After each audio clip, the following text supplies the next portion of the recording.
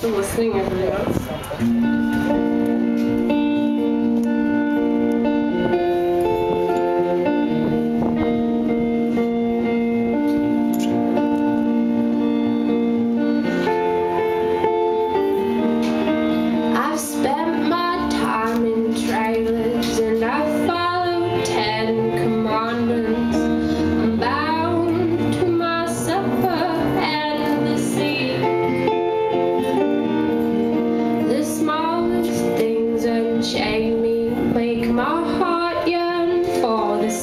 you.